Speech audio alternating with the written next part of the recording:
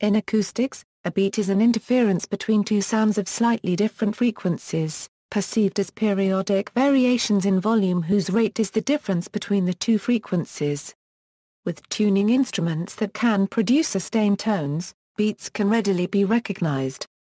Tuning two tones to a unison will present a peculiar effect, when the two tones are close in pitch but not identical, the difference in frequency generates the beating. The volume varies like in a tremolo as the sounds alternately interfere constructively and destructively.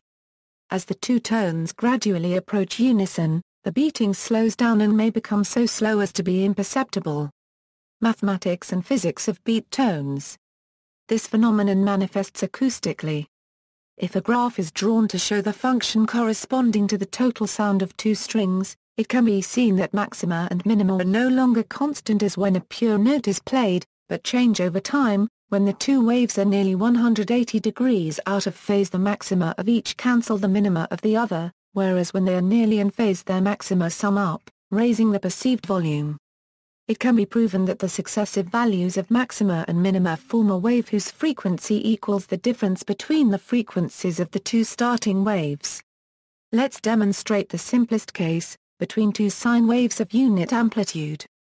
If the two starting frequencies are quite close, the frequency of the cosine of the right side of the expression above, that is slash 2, is often too slow, low, to be perceived as a pitch. Instead, it is perceived as a periodic variation of the first in the expression above, whose frequency is slash 2, that is, the average of the two frequencies. However, because the human ear is not sensitive to the phase, only the amplitude or intensity of the sound, only the absolute value of the envelope is heard. Therefore, subjectively, the frequency of the envelope seems to have twice the frequency of the cosine, which means the audible beat frequency is. This can be seen on the diagram on the right. A physical interpretation is that when equals 1, the two waves are in phase and they interfere constructively. When it is 0, they are out of phase and interfere destructively. Beats occur also in more complex sounds, or in sounds of different volumes, though calculating them mathematically is not so easy. Beating can also be heard between notes that are near to, but not exactly, a harmonic interval, due to some harmonic of the first note beating with the harmonic of the second note. For example, in the case of perfect fifth, the third harmonic of the bass note beats with the second harmonic of the other note. As well as with out-of-tune notes, this can also happen with some correctly tuned equal temperament intervals, because of the differences between them and the corresponding just intonation intervals, see harmonic series harmonics and tuning. Uses Musicians commonly use interference beats to objectively check tuning of the unison, perfect fifth, or other simple harmonic intervals. Piano and organ tuners even use a method involving counting beats, aiming at a particular number for a specific interval.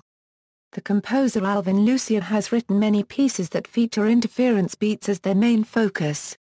Italian composer Giacinto Scelsi, whose style is grounded on microtonal oscillations of unisons, extensively explored the textual effects of interference beats, particularly in his late works such as the violin solos Xnoybis and La Sent Me La Copyright E slash La Sent Me Ouvert, which featured them prominently. Composer Phil Niblock's music is entirely based on beating caused by microtonal differences. Binaural beats Binaural beats are heard when the right ear listens to a slightly different tone than the left ear. Here, the tones do not interfere physically, but are summed by the brain in the olivary nucleus. This effect is related to the brain's ability to locate sounds in three dimensions. Sample. See also, envelope, Voix car copyright list, Gamma gamelan tuning, heterodyne, interference, consonance and dissonance, Moira copyright pattern, a form of spatial interference that generates new frequencies. References External links, JavaApplet, MIT, Acoustics and Vibration Animations, D. A. Russell, Pennsylvania State University, a JavaApplet showing the formation of beats due to the interference of two waves of slightly different frequencies, yet another interactive JavaApplet.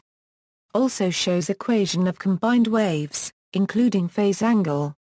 Lissajous curves, interactive simulation of graphical representations of musical intervals, beats, interference, vibrating strings,